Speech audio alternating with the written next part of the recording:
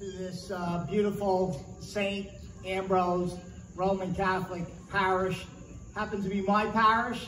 So uh, on behalf of Monsignor Zemanek and the parishioners here, uh, welcome.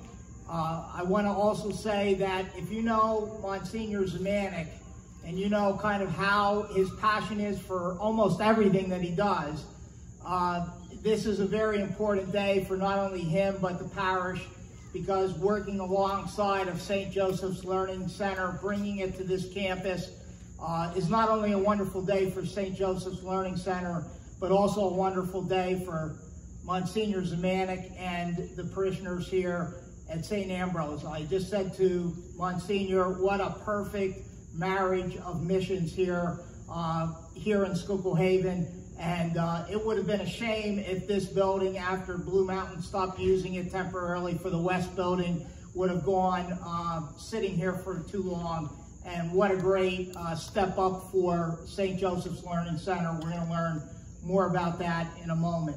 So let's begin by calling Father Jason Stokes, who is the pastor at St. Michael's, the Archangel, and board member of St. Joseph's Learning Center to offer an invocation.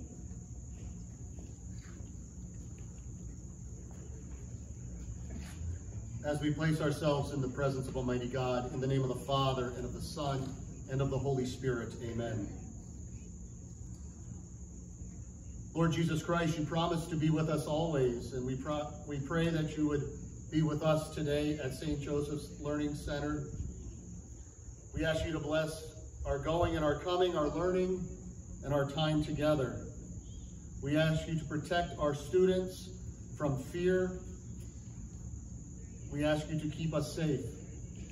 Provide us with good friends and bless this new campus that we come together to join together our mission of life, of education, and to prove that all people are important and held in the hands of God. We ask you to be with us throughout this school year so that we may grow in the love of God and the love of neighbor and continue to be disciples in his name. And we ask this as all things through Christ our Lord. Amen. Amen. And may Almighty God bless you, the Father, the Son, and the Holy Spirit. Amen. Amen. Thank you so very much, Father. A little bit about St. Joseph Center. St. Joseph Center for Special Learning was founded in November of 1955 by then Monsignor John E. Boyle of St. Patrick's Church, Pottsville. The school was originally located on Mahantongo Street, directly in front of Assumption BVM, and was known as the St. Joseph Day School. In 1987, the school relocated to their previous site on Norwegian Street in Pottsville. And now, 68 years after first opening their doors, St. Joseph Center for Special Learning is so excited to welcome you to their new campus here in Schuylkill Haven. This new facility is the former St. Ambrose Elementary School which unfortunately closed in 2019. Sponsored by the Office of Education of the Diocese of Allentown. St. Joseph Center for Special Learning is a Catholic, not-for-profit special education center that offers academic, social, religious, and pre-vocational instruction to students ages 5 through 21 with intellectual and developmental disabilities. They also offer a state licensed adult habilitation program for those over 21 who due to functional level are unable to join the workforce. The only Catholic school of its kind in Schuylkill County, St. Joseph Center for Special Learning has a history of graduating students who have become faithful, active members of society. The small student to teacher ratio allows staff to give students the attention needed to learn, develop, and succeed, while also instilling Christian values. St. Joseph Center is open to students and adults of all faiths not just those that are Catholic.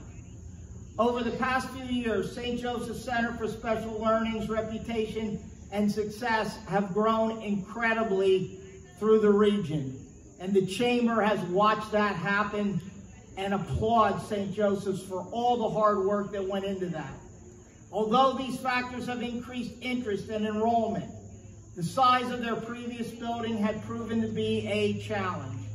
To assure St. Joseph's Center future and reach can expand and benefit more children and adults, the decision was made to move to this St. Ambrose campus.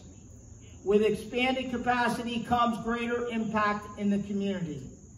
St. Joseph Center for Special Learning is now poised for growing together and building forever, which is their theme for the 2023-2024 school year.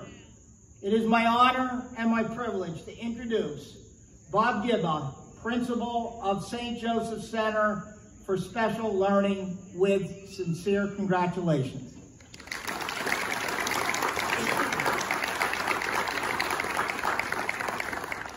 Thank you, everyone.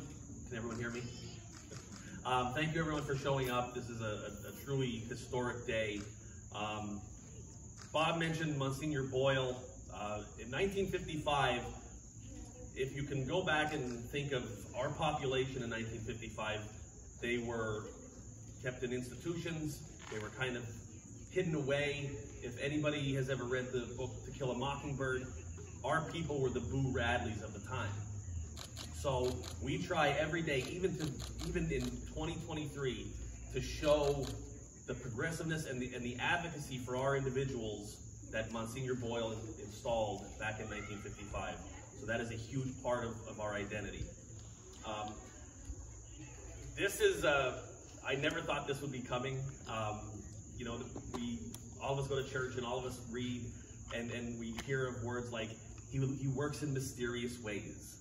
Um, if you would have talked to me in 20 years ago and said, Bob, you're going to be the principal of a special needs school, I'd have probably checked your temperature and got you to the ER because I there was I, there's no way. If you said we were going to move an entire building into this school and grow to the way we did, again, he works in mysterious ways. About a year ago, the we were with our board and we started having this conversation of what next? Where are we going to go? Where are we where are we going to do this? Are we going to just accept the fact that this is where we're going to stay in Pottsville and, and stay at that size?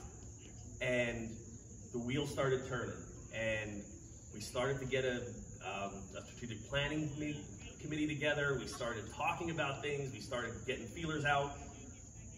And lo and behold, some of our, our board members are parishioners of St. Ambrose, and Monsignor Zemanek, out of the blue, says, St. Joe's Center ever think about moving? And that was it. That, that was the end of the story.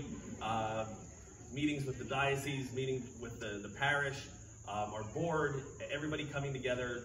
This is what it culminated into. So I cannot thank my staff, my board of directors, our donors, all of you who support St. Joseph Center uh, through various ways. I, I, thank you tremendously.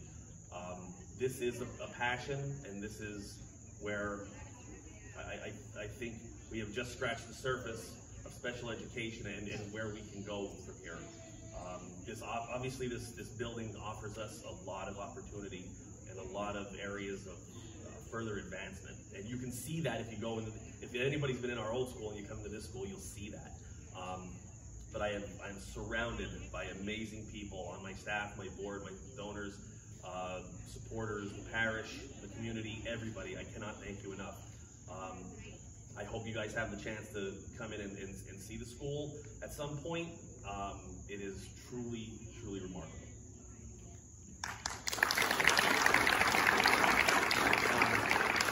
And to give you a better or a different view, um, I would like to offer if our president of our board, Wayne Herring, would like to come up and say a few words.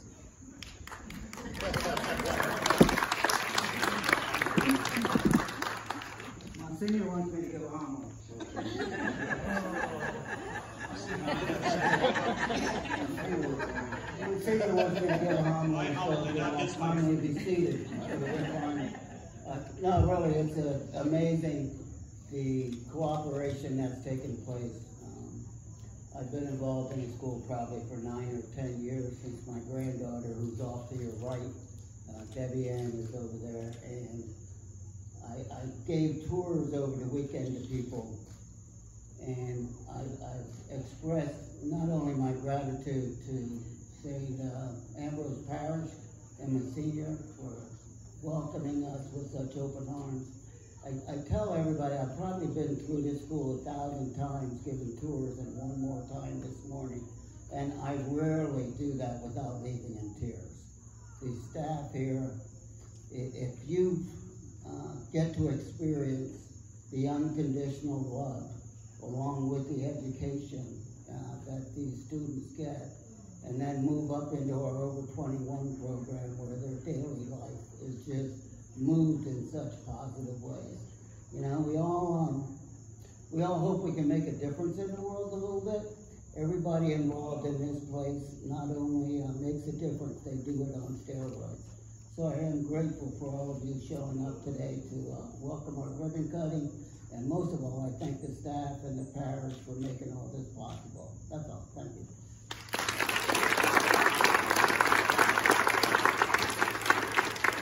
Thank you, Wayne Herring. Wayne happens to be a high school classmate of mine, you can tell. That's why he speaks so well. Well educated, well trained. So I always joke that we bring an entourage with us, and there's a lot of people from the community here today. You know, I see United Way, SEDCO, a lot of people here. But the chamber always rallies around these ribbon cuttings, and I couldn't be prouder. I couldn't be prouder of my staff, and I couldn't be prouder of how the chamber family works to support 800 plus members in succeeding not only for their businesses and their nonprofits, but in making the community a better place to live, work, and play. And this is what really it's about, building our youth up and making sure that they have the very best opportunity in life that God can present them with. So my first uh, call up this morning is going to be the chair of the Chamber Board of Directors. She knows a little bit about education. She happens to be the executive director of Alvernia Pottsville College Town, and of course, the chair of our board now in her second month, almost going into her third month. Time flies when you're having fun. So it's my pleasure to introduce Cynthia Mensch, chair of the Schuylkill Chamber of Commerce Board of Directors. Cynthia?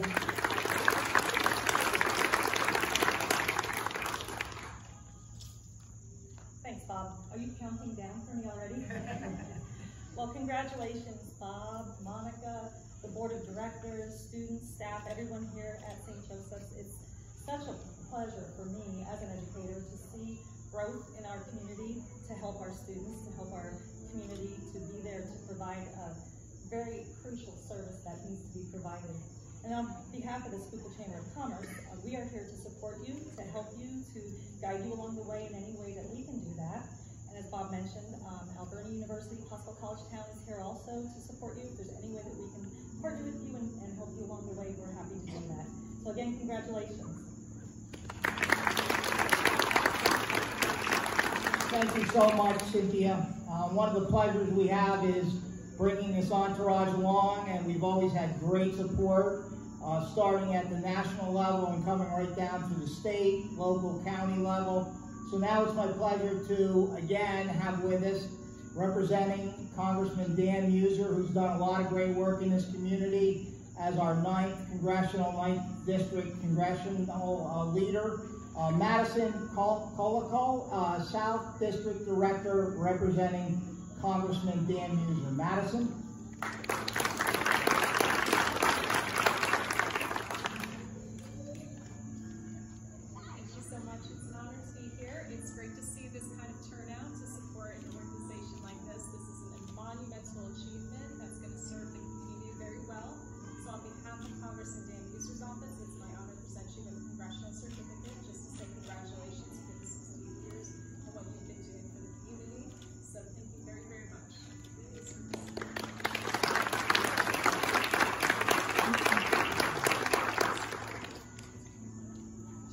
Dave Argall was hoping to be back. He had some conflicts today and meetings. Unfortunately, he's not going to make it back, uh, I just learned. But on his behalf, here to represent uh, Senator Dave Argall and another member of the Schuylkill Chamber of Commerce Board of Directors for a long time, it's my pleasure to introduce Mary Beth Doherty. Mary Beth?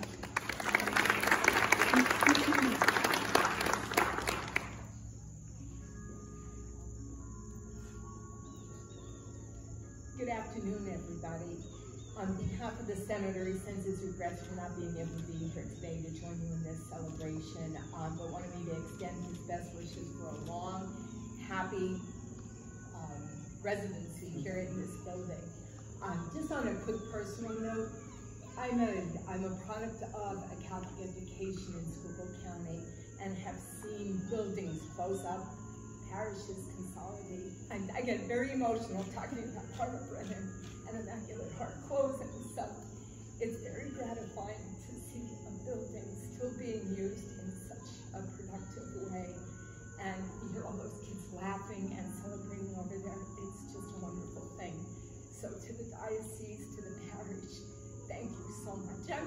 Sorry I'm making you over this, but Amy knows. Amy knows what it's been like. So it's just a wonderful thing to preserve it and many years of health, happiness, and well-being here. Thank you so much for doing this.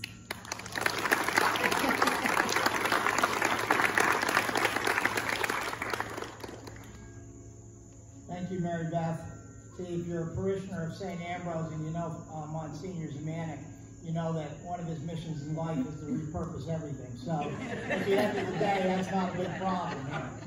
He'll find a way, trust me, he will. So next, it's my pleasure, unfortunately, too, uh, Tim Twardzik is not able to be here today. He is our new state representative in the 123rd. Well, he was 123rd, his district changed, and now reaches down further into southern Schuylkill County. So State Rep Tim a great supporter of our ribbon cuttings, could not be here today, but we have the next best alternative, and that's his representative, Tanya Cartwright, who never wants to speak, but I always make her speak. So.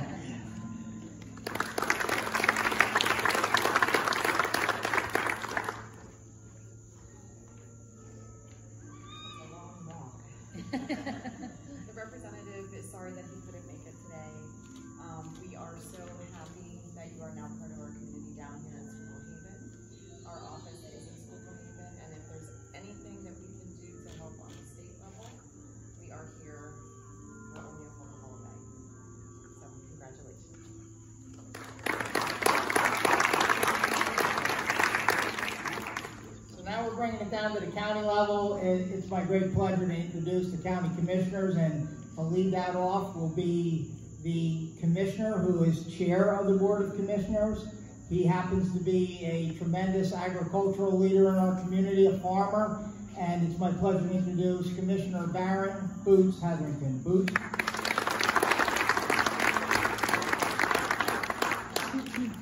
Thanks, Robert. Uh, Just want to say congratulations to Bob and the staff.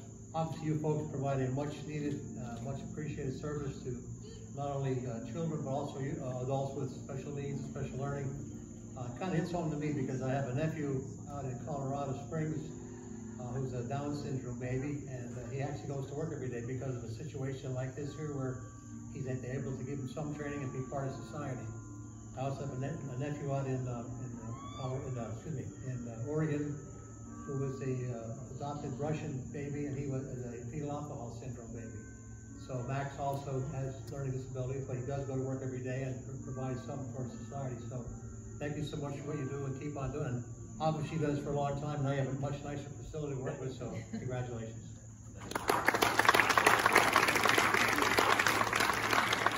I'd like to point out that he's called Tim Robert and me Bob. So the next gentleman doesn't really need an introduction because truly he's home, even though he was originally from St. Clair. Everybody in southern Schuylkill County knows him. He's a former mayor of the borough of Schuylkill Haven, uh, a three-term and growing county commissioner uh, here in Schuylkill County. And um, I don't know that there's too many people in the- the borough of Schuylkill Haven that brings more passion and visionary ideas. He loves this town. He loves everything that happens around this town. Of course, he represents all of us, 143,000 people as a county commissioner, but it's my pleasure to introduce a good friend uh, for a long time, Commissioner Gary Hess.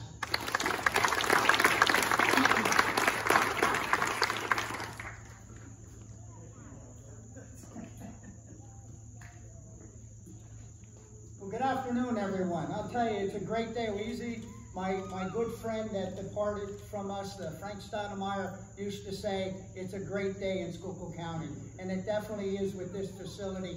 And especially, welcome to the Schuylkill Haven area. We're really proud that we see this facility that's going to continue to grow and take care of individuals with special needs. Again, like uh, my colleague, uh, Commissioner Hetherington said, our family had that the same thing through all our lives because my sister had Down syndrome and needed special special needs. And the services that were provided to her in this county were out, out, out enormous. I'll tell you what, it's the care and, and the devotion. And, and the thing is, as you look at these individuals, there's God's special people. God's special people that were put on this earth, and everybody has a reason why they're here, and it's up to us to make sure that they get the good quality of life through young and old. So again, on behalf of myself and all the citizens that we serve here in Schuylkill County, thank you for very much of what you did for over 50 years, and I believe you'll be here for 50 more, again, doing what you do in a great service uh, to the community and to some great children and adults. So thank you again.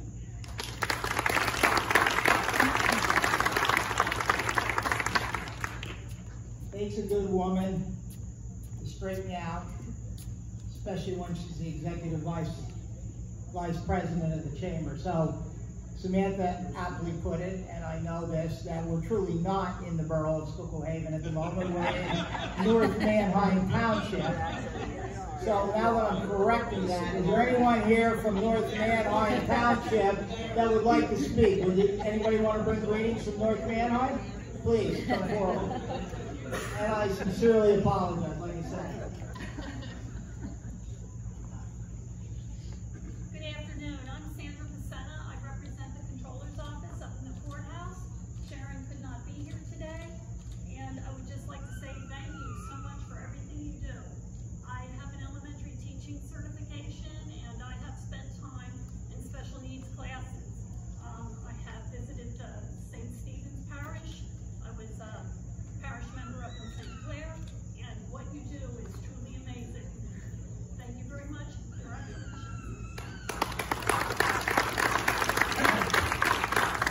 you so very much. Now, uh, a couple notes here. Uh, I want to again thank the. You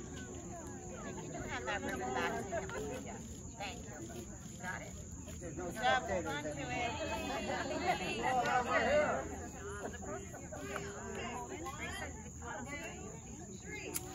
Yeah!